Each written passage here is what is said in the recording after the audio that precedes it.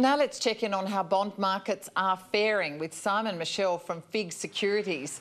Simon, thanks very much for talking to us. Now, let's talk about uh, not so much the French election, but there is this impact that the Trump administration's tax reform could have or will have on bond markets, and we are expecting, what, a big announcement this Wednesday.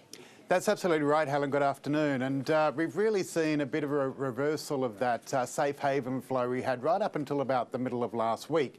And uh, in the last couple of days, we saw uh, people or investors happy to take on risk and move back into equity markets, move out of bonds, take some profit in those yield curve movements. And that's really been driven by uh, Trump. Uh, uh, communications that they've got a big tax plan coming. Um, there's likely to be a release on Wednesday. Not a lot of detail around that. Uh, but investors are obviously happy to see a bit of detail coming out this week, uh, in addition to obviously some easing geopolitical concerns on that French election, as you've, as you've mentioned. Yeah, and it is interesting because I guess the, the risks of France leaving the EU, they have eased on this first round result?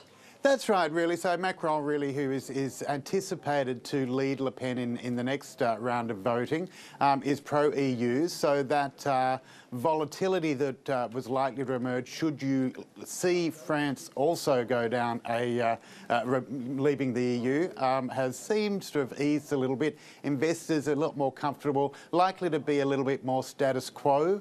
Uh, so I think investors are sort of comfortable with that, moving back into equity markets as we're seeing. Yeah, so Simon, do you think there's any possibility, I mean, I don't want to be the doomsayer at all, but is there any possibility that the market sort of is, is breathing this big sigh of relief, but in fact, um, Madame Le Pen has a good chance there's only now two candidates. Look, polls have not been uh, very well received recently, obviously on the back of the US election. So, you know, there are there are elements that uh, don't really uh, read a lot into the polls suggesting that Macron's about 20 points ahead uh, mm. on a two, you know, uh, you know, two case basis. Um, but I think that you know it would, it's going to be tougher for Le Pen to get there. I think, and I think yeah. if you sort of take the votes uh, from those people who voted for the alternate two candidates, they've got to find a place to go. And I think you're probably going to see that's likely to support Macron over Le Pen. Yeah. All right. Let's talk about Aussie yields. Now they've gone higher. What's the story? They have, so they've basically also followed the US up. Uh, I think, again, um, investors feeling a little bit more comforted, uh, moving out of the safe haven flows, moving out of bonds, um, and moving back into equity markets. We're seeing, uh, you know, increased demand for high yield bonds as well. That's pushing the risk premium or spreads on bonds down as well, and we saw that fall by about seven basis points. So really, I think, you know, if you if you think about it, Helen, we've really had a month of, uh, you know, uh, you know, concern in market uh, a month of uh, you know quite a bit of volatility. Uh, you know, bond yields out in the 10-year was down about 40, 45 basis points. That's a significant move. We're now seeing that unwind as some of these things work themselves through the system. All right, sorry. So the Aussie 10-year are at what?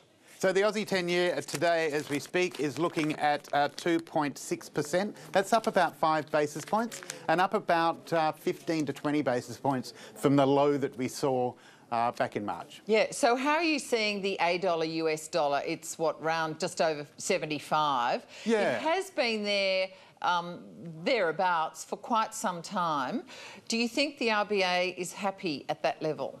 Look, it's been bouncing around there and it's been sort of up and down a little bit. And I think, uh, you know, we certainly saw a little bit more demand come through as yields fell, and that was an investors looked for additional yield over the US Treasury, so we generally get a bit of an increase in demand for Aussie bonds, and you certainly saw that when they reached their lows. Look, I think the RBA is pretty comfortable. They'd obviously like to see it drift lower. They certainly don't want to see it drift higher, and I think that, uh, you know, if you were likely to see that, Helen, you are going to start to see the RBA talk about the need to perhaps look at lowering the cash rate. So, you know, I think that, you know, around that 75, as you said, it has been hovering around there. I think they're pretty comfortable. The Aussie, uh, or the RBA, I should say, really want to see the Fed continue increasing rates. They don't want to see any delay to that. Otherwise, it puts pressure on them having to maybe adjust our rates down. Yeah, all right. Well, let's talk a little bit about Aussie issuance. Now, Volkswagen are possibly going to issue. That's right. So not a lot of issuance around, but one interesting one is Volkswagen Australia, and they're looking to do an asset-backed uh, security issue. So this is essentially Volkswagen Australia Finance uh, selling off of their balance sheet uh, motor vehicle loans that they offer to their, their customers. And uh, so they've done an issue. Uh, the last issue was back in March last year, around 500 uh, million Aussie. So we're anticipating that they might be going to the market again over the next week. All right, Simon Michell from FIIG Securities, always good to get your view. Thanks for joining us. Have a lovely day. Thank you, Helen.